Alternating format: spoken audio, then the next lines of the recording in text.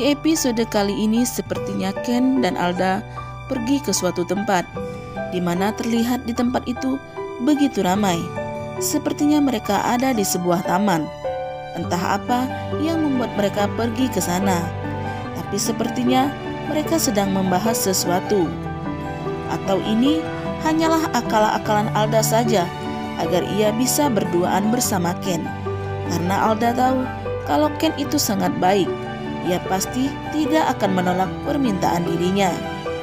Sepertinya Alda menaruh perasaan terhadap Ken. Tapi semoga saja Ken bisa menjaga cintanya terhadap Maudi. Meskipun Alda selalu berusaha untuk mendapatkan hati Ken. Semoga ini tidak akan jadi pemicu yang akan berakibat buruk untuk hubungan Ken dan Maudi. Saksikan kelengkapan ceritanya di sinetron Love Story dan saya akan update terus infonya di sini. Terima kasih.